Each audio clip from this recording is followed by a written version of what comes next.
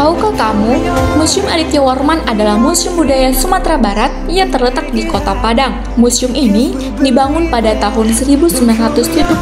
Museum ini menyimpan banyak sekali peninggalan, mulai dari tradisional hingga modern. Setiap koleksi yang ada di museum ini selalu dijaga dengan baik dari segi kebersihan hingga ciri khasnya. Uniknya, museum ini dibangun dengan bentuk rumah adat Minang, tempat yang menarik buat kamu yang ingin berlibur sambil belajar adat Minang.